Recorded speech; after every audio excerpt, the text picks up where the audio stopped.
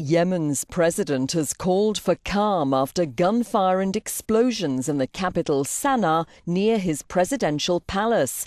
The clashes between troops and Shiite fighters follow their abduction on Saturday of this man, the chief of staff of President Abd Rabbu Mansour Hadi. He was seized in efforts by the rebels known as Houthis to derail a new constitution.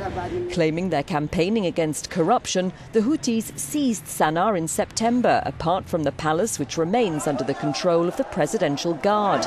They've since advanced into other areas where Sunnis predominate, despite a deal called calling for a new unity government, followed by the withdrawal of Houthi rebels from the capital. The fighters have remained in place in a power struggle that threatens further chaos in Yemen, raising fears Al Qaeda could benefit.